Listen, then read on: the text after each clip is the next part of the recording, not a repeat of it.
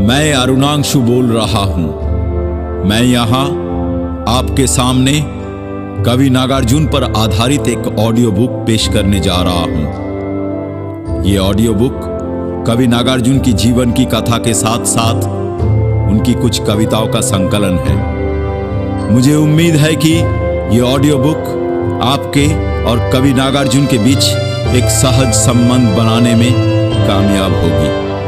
ये मेरा एक व्यक्तिगत प्रयास है, जिसमें कोई वाणिज्यिक आदान प्रदान नहीं है। तो आइए, सुनते हैं बाबा नागार्जुन की कथा।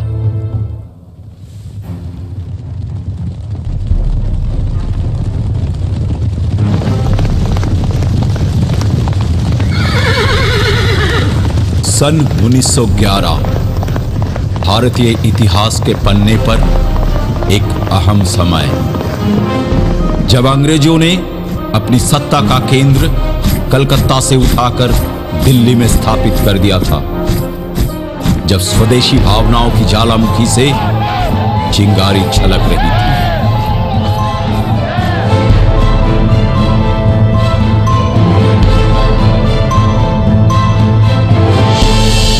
गाल गाल पर दस दस चुंबन देह देह को तो आलिंगन आदि सृष्टि का चंचल शिशु मैं त्रिभुवन का मैं परम पितामह, व्यक्ति व्यक्ति का निर्माता मैं, ऋचा ऋचा का उद्गाता मैं। कहा नहीं हूँ? कौन नहीं हूँ?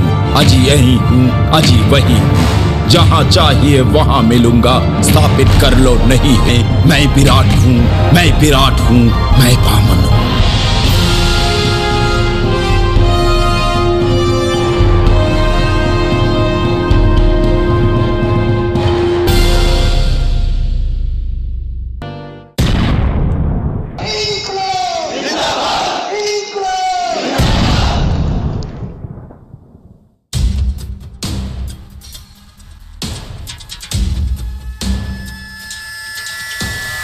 एक एक को गोली मारो।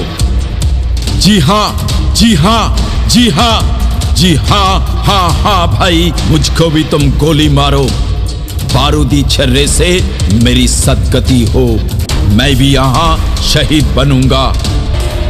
मैं ना अभी मरने वाला हूँ मर मर कर जीने वाला हूँ।